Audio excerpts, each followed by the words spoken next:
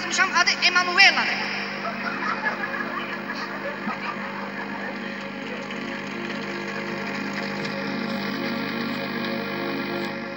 Emanuela, ela, mela, malalololo, maca, laca, shololo molo, lapa, siapa, o malaloma, siama,